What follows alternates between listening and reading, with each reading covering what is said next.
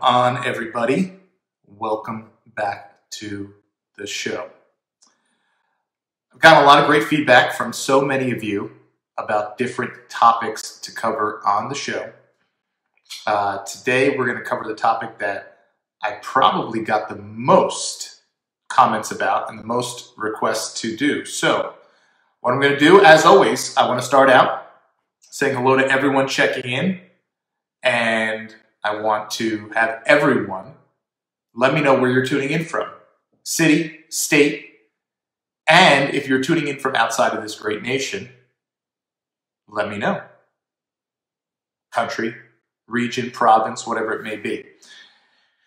So give yourself a shout out. Let us know where you're tuning in from. We love seeing all the people from across the country and around the world tuning in. So uh, shout yourself out. Do it now, and let's go. So we're going to start out with Let's Go Brandon. Now, by me saying Let's Go Brandon, you know Facebook is going to immediately throttle this video down. But a lot of people have been asking about where did that come from? A lot of people have been hearing the chant. People are holding signs in uh, stadiums now and chanting this. Um, it originated after uh, a NASCAR race where the pit reporter was uh, interviewing the driver who won. His name was Brandon.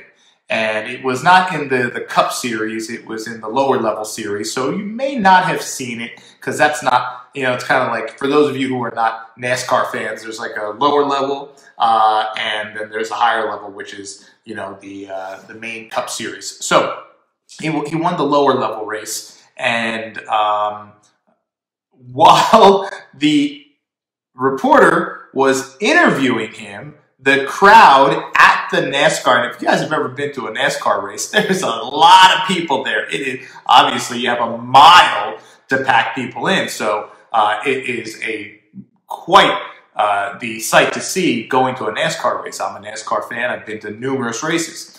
So the crowd is chanting, "Let's go, Brandon," and uh, or, or the crowd is chanting, "Not let's go, Brandon." The crowd is chanting, uh, "F the president's first name and last name."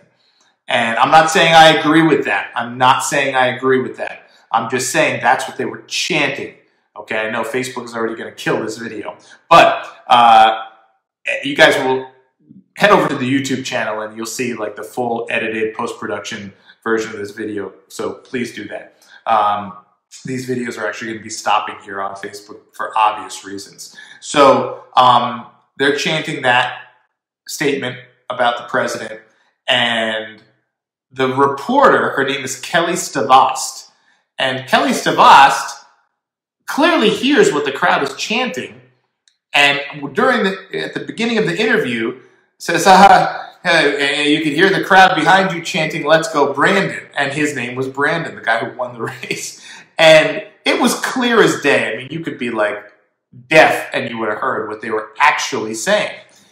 Um, so the question people had is, why did Kelli Stavast, a reporter for the race and a professional, why did she say, oh, we could hear the crowd chanting, let's go Brandon.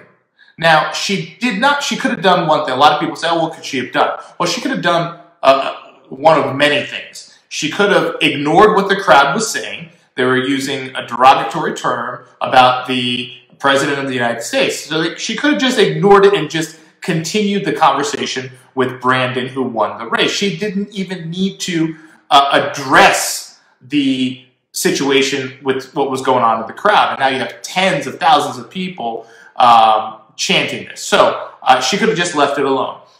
She could have, because she was uh, doing a live interview, she could have apologized to the audience. You know, sometimes you see a reporter and some, they're doing the report and some crazy person comes up behind them and yells something and does something live on camera, maybe does something uh, inappropriate or says something profane, and they run away. And what you see is the reporter saying, for those of you viewing at home, our apologies. Okay? Um, and that, that's it. She could have said that, and that would have been it. Or, like I said, she could have said nothing at all. Or the producers could have just cut the feed and gone to something else. There are many things that could have happened during this situation. What she chose to do was what everyone is calling lie to the viewers, where we're all hearing what's being said. And what she chose to do was literally try to pull the wool over everyone's eyes, right? And say, oh, that's not what you're hearing. They're chanting, let's go, Brandon. And not only does she do it from the standpoint of clearly you can, but she actually says it to the driver. She said, ah, and you can hear the crowd cheering, let's go, Brandon. And even the look on the driver's face was like, he even knew they weren't, they were not chanting, let's go, Brandon. He knew that. So he looks at her, who says, oh, they're chanting, let's go, Brandon. And he's like, wait a second. Wait a second. Like, hold on.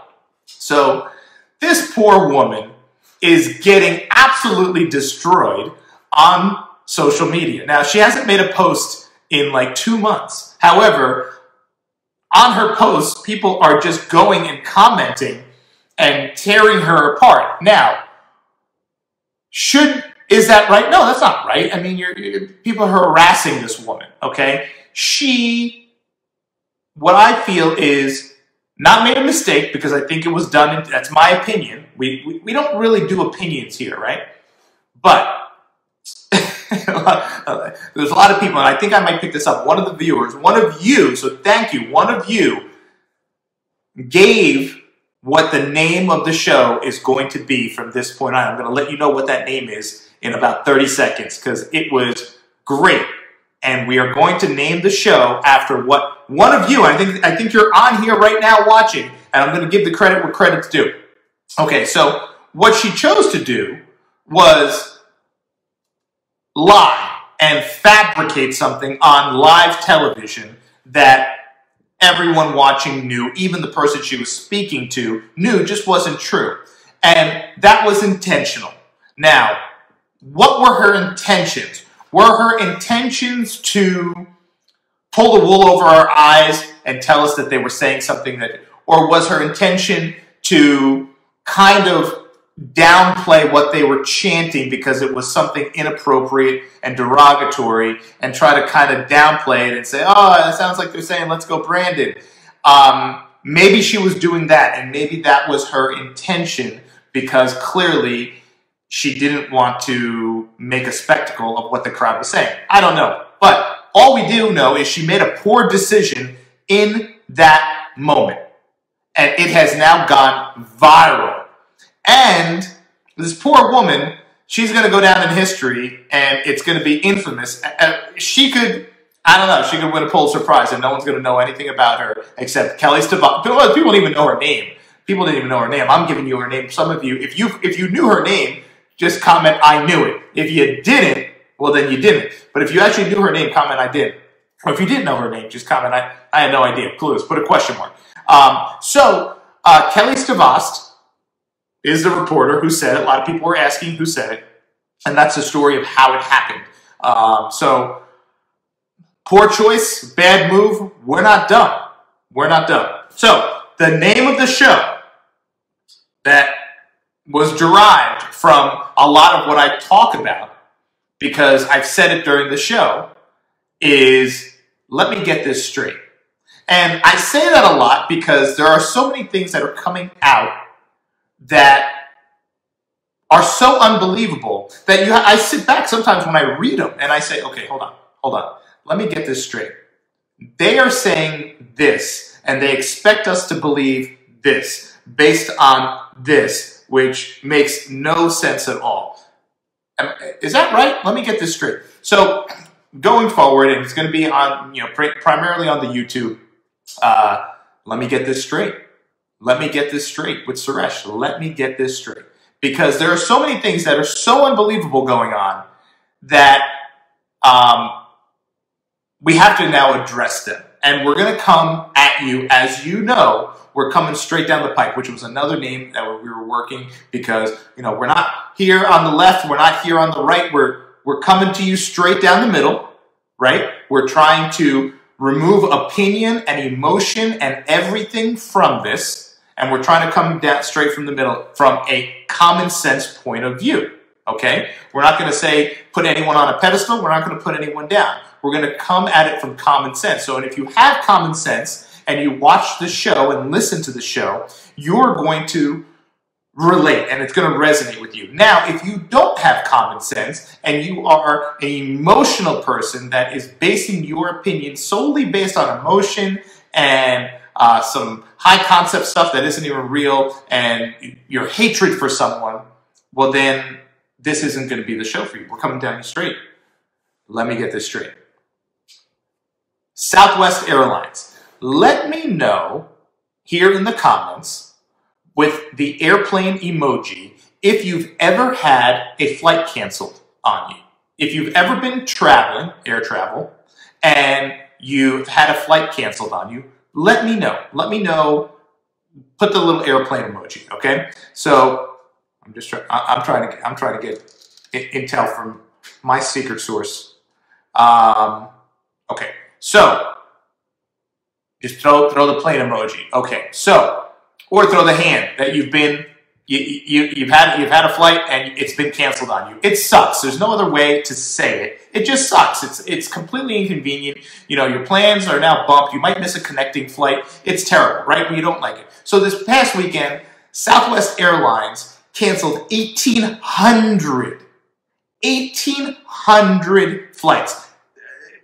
Thousands and thousands of people, of course, were completely inconvenienced. People missed funerals, people missed weddings, uh, people missed the birth of their children. You name it, it happened. Okay? People missed the, the passing of a family member that they're trying to get home to see. The stories are endless. And the initial report that the media gave us was South, and I'm going to post the uh, the Uh, the article, the link. I'll, put, I'll post it down below in the comments. Southwest Airlines cancels over a thousand flights. It was nearly two thousand due to weather. Due to weather, they canceled 1,800 flights. And that's what they said. So people looked at the weather radar and they said, wait a second, it's really only raining in Florida right now, and it's not even that bad. There were some storms in central Florida, not a hurricane, nothing crazy. How did we cancel 1,800 flights because of some rain in South Florida, not even where Southwest is based? So a lot of people were confused. A lot of people were angry. They were sitting somewhere and it was perfectly sunny. And it just didn't make sense. It didn't make sense. The flight that they were, the, the, the plane that was coming to them was coming to them from somewhere sunny, and where they were was bright and sunny, right? So that was the first thing. The second thing was no other airline carriers canceled their flights.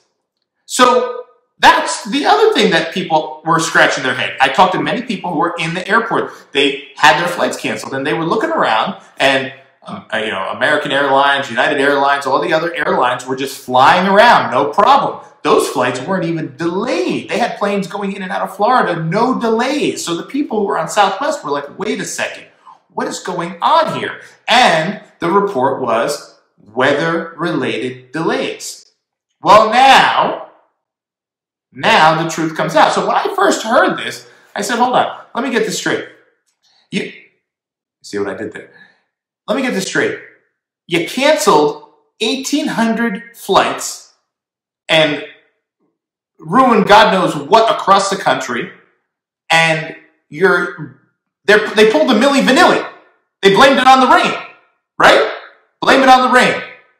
The problem was what they didn't take a second to think about was nobody else was canceling their flights.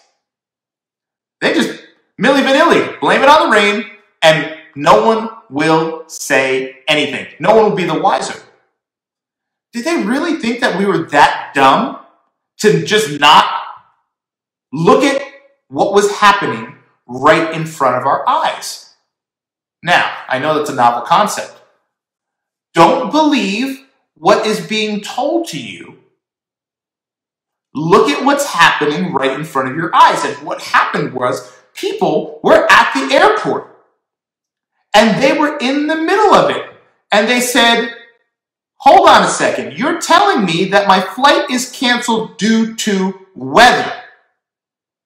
However, I'm with my own eyes looking at all these other flights taking off. No problems. Flights coming in, landing, flights taking off, no problem. Only Southwest. Blame it on the rain. Like Milli Vanilli. Blame it on the rain. And they thought no one was going to say anything. Well, now it's come out. Now it's come out 48 hours later, the truth. The pilots walked out in protest against the mandates. The mandates, you know, I can't say the word, but the, you know, yeah. Two. Now, now you got to get three. I heard number four is coming.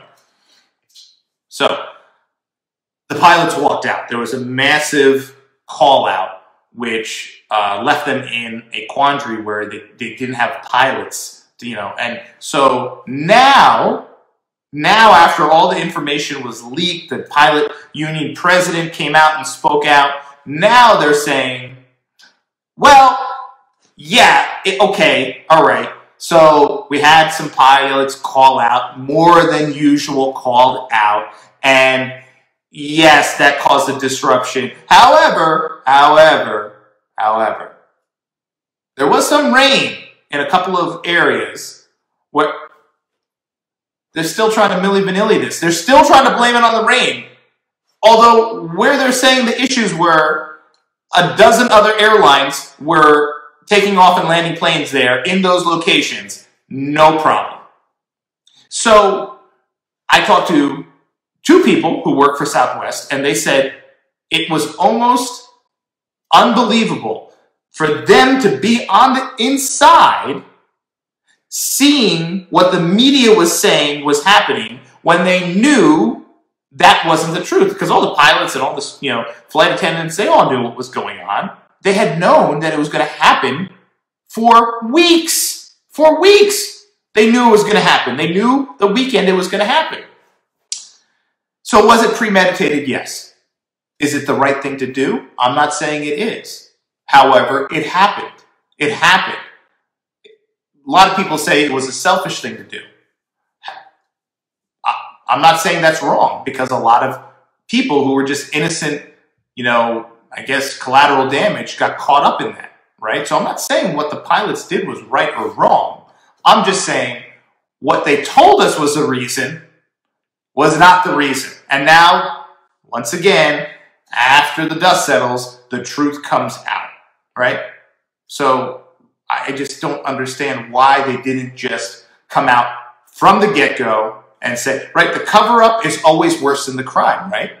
We all know that to be true. The cover up is always worse than the crime. So if they had just come out and said, listen, everyone, we apologize. We apologize to you. There's been a major call out. We believe it has something to do with the mandates for the and we are doing our best to resolve this and our apologies. You would have had probably half the people, 50% say, okay, I got you. I got, I, I, I, I got it. Because they maybe are going through the same thing at their place of employment. And then you would have had 50% of the people say, they're selfish, this is about, you know, the health of everyone around us. You know, mind you, they're they're standing there at the airport. They're 300 pounds. They're eating their you know their donuts and their chili cheese fries, and they're saying this is about our health and this is it's selfish and this. And you know, maybe they're not wrong. Maybe it was a selfish move. Who knows? I'm not I'm not here to judge. I'm not here to judge uh, about what the pilots chose to do. Use their accrued sick time jointly to call out sick in a certain period of time that caused a major disruption. I'm not going to say that's right or wrong because that would be my opinion. I'm going to hold it inside, right? I have my own feeling about that. What I will say is what was wrong was lying to the American people about the real reason of why it happened. That's wrong. Now, lastly, and this is the one that so many people, and this is the one that's going to completely get me kicked off Facebook. A report came out today that roughly 200, roughly 200 government employees over the past year and a half who had come down with um, whew, this is tough. This, this is going to be unbelievable. You guys are not even going to believe this. Roughly 200 members of Congress and their families, and the report is out. You can go see it for yourself. Don't take my word for it. Go see it for your. And I, I don't care who you voted for. I don't care what side of the aisle, political party, gay, straight, black, or white. If you have a brain in between your ears and you have any sense at all, you somehow, at some point, knew this to be true. Now, I've seen it happen personally. I'm not going to name names, but I've now seen it at personally. I've seen it at least five times. What I'm about to tell you happened. And I didn't say anything to these people because that's not my place to say, hey, whoa, I, I told you so. However, however, this is crazy. And when I heard it, and then I saw the report, and I saw the evidence, no one's making this up here. It's all now out there. It was released. We're getting whistleblowers, real and fake, every day. I said, hold on a second, let me get this straight. 200 members of Congress, and I'm looking at the report right here roughly 200 members of Congress, their family members, and or staffers over the last year and a half that had contracted, you know what, utilized and were successfully treated with the anti, I'm just not going to say, ivermectin. Okay? The, the, the drug ivermectin. So, 200 family members, staffers. They did not report utilizing that drug to better themselves. They did not report it. It was now found out. What's more troubling is that these members of Congress who you and I voted in, maybe you voted for one, I voted for who knows, but we as Americans voted in, and we as Americans paying tax, right? The biggest wealthy rotor for all of us is paying tax. We pay their salaries.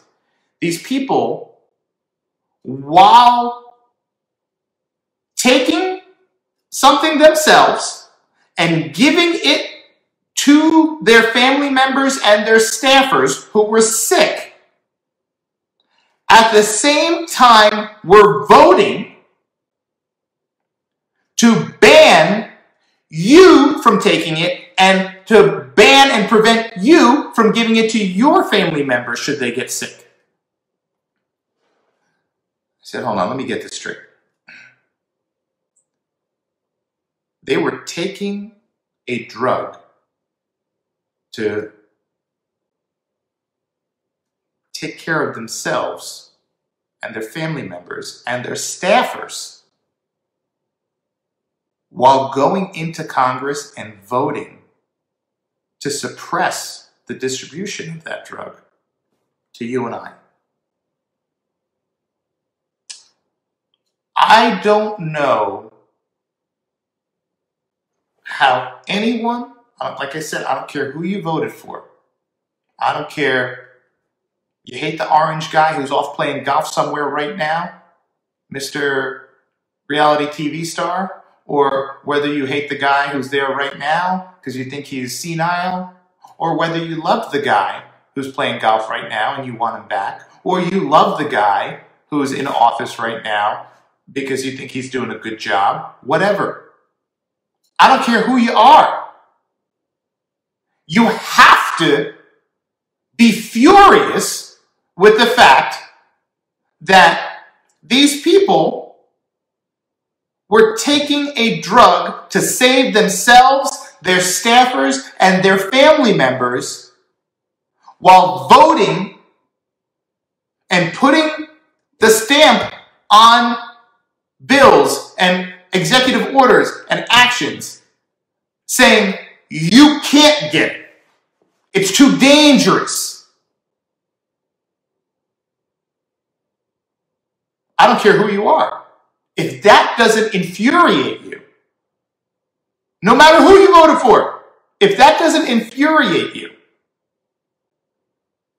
you simply have lost touch with reality. I don't know what else to say. I don't know what else to say. Now, I will say that I know five people who were calling it a horse drug. Now, they're calling it a horse drug. Let me, let's get this straight. Let's get this straight. This is something that has been around since the 70s that has been called a, and I'm reading this directly, from a medical and biological website. A wonder drug on the same level as penicillin and aspirin that is help that is responsible for saving billions of lives around the world. Human lives, not horses. Human lives. Right here. This is not some crazy right-wing website. This is the Japanese, the Japanese industry of biological science. I'll put the link. I'll put the link below. Wonder drug on par with penicillin and aspirin, responsible for saving billions of lives around the world. Roughly 200 politicians took this drug.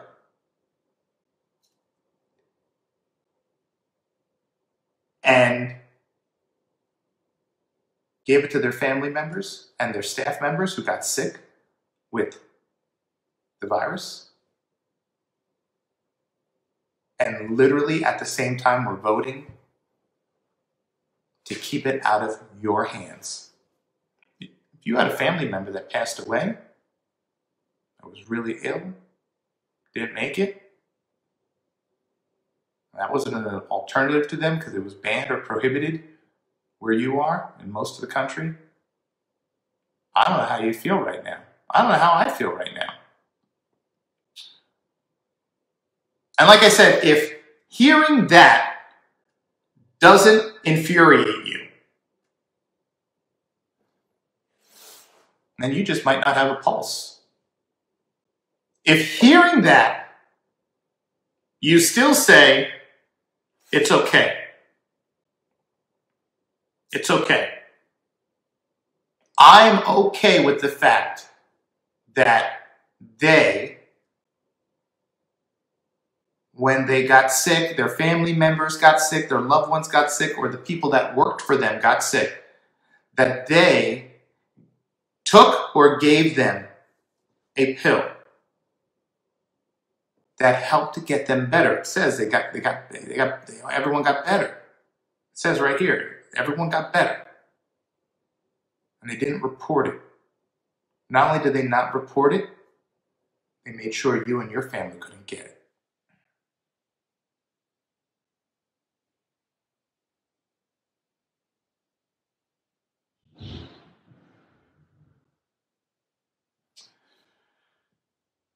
Let me know what you think in the comments below. Let me know if you think that's perfectly fine. Let me think if you think, you know, Southwest Airlines telling, you know, Milli Vanilli, blame it on the rain. It's okay. Let me know what you think. Let me think if you think that's totally fine or it's unacceptable. I'd love to know your feedback. You know, reporters just fabricating things, telling you you're hearing things live on air, let us know. You'll see all this post production on YouTube. We'll put links, we'll put video clips, all that stuff. So check out our YouTube channel